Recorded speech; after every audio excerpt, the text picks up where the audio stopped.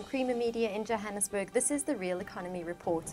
During a sustainable enterprise tour of one of the 24 businesses that form part of construction and engineering firm and Roberts Enterprise Development Program last month, the company said it subcontracted between 70 and 80% of its building work, while its enterprise development program held tremendous possibilities to sustain and grow many smaller and developing contractors.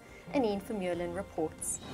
Large corporations like and Roberts have a meaningful role to play in small business development, and with South Africa celebrating 20 years of democracy last month, the company reflected on what it had achieved over the past 20 years. The program started in uh, 2009, uh, where we had uh, maybe seven um, enterprise development companies, and and Roberts has gone from compliance to commitment. So we've now currently have 24.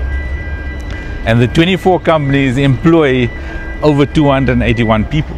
So to me, that is, is phenomenal. You're getting people work and, and that's the future of South Africa. Mayet explained that the company had progressed from compliance to commitment in terms of enterprise development, and that its 24 enterprise development programs range from small to large businesses. Our plans are to, to maintain what we have and to add on and to build on that.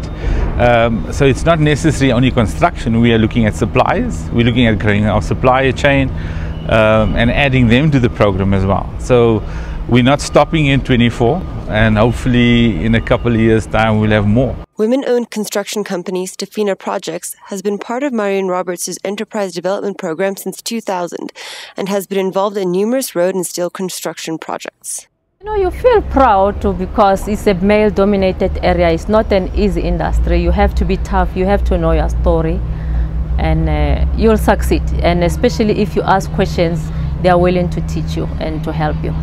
That's Creamer Media's Real Economy Report. Join us again next week for more news and insight into South Africa's real economy.